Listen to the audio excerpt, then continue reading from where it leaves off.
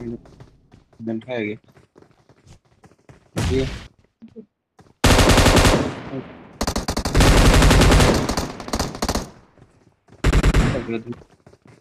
ਆਪਾਂ ਨੂੰ ਛਡਾ ਦੇ ਯਾਰ